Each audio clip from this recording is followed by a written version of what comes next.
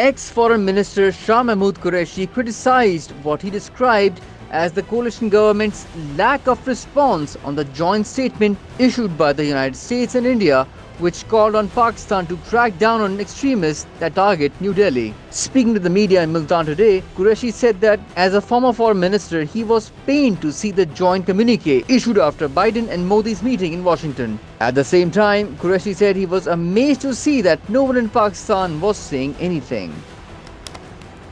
जो अभी वॉशिंगटन में मुलाकात हुई सदर बाइडन के दरमियान और हिंदुस्तान के वज़ीर अजम के दरमियान। है ये उनका बायोलेटरल विज़िट था। उनका हक है, वो मिले गुफ्तु हुई।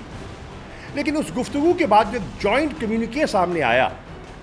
उस जॉइंट कम्युनिके को पढ़कर मुझे बहुत तकलीफ़ हुई।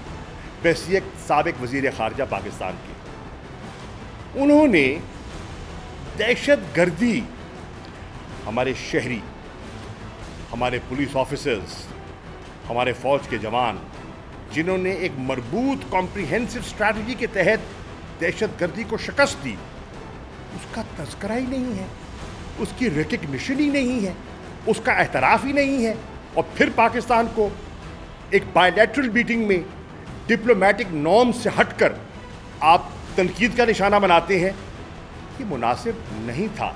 और मैं समझता हूँ कि मुझे आ, उसको देख कर पढ़ कर बड़ी तकलीफ़ हुई।